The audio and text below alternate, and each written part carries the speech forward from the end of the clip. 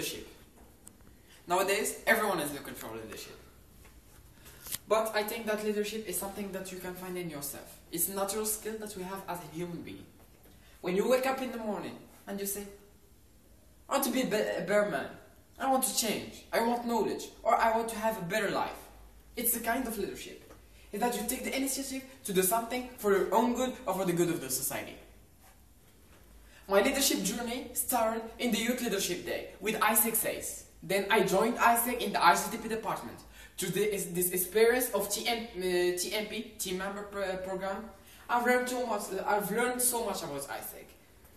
The AIESEC way, the AIESEC culture, the how to deliver a good quality of the ex, of exchange, and how is working the entity, the back office and the front office.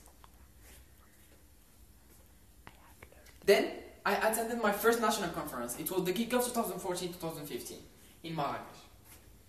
In this experience, I've learned how to love my entity, IG SAISS. When I came back to FAS, I was motivated. My leadership journey was developed. Then I applied for the OCP position in the o- in uh, the OC of the our project Be Hero.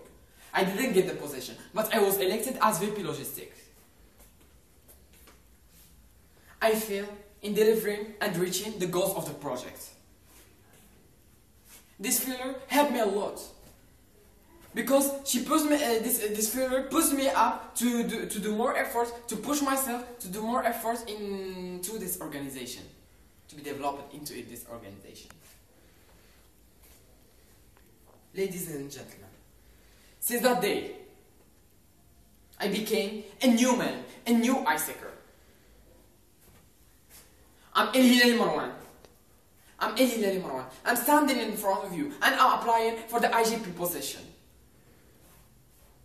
To show to the people who didn't believe in me and even those who, uh, who uh, to the people who believed in me and even those who didn't believe in me that I am here, I am living and I am and with me you can see the light of transformation. Ladies and gentlemen, do you see the spark in my eyes? It's the change.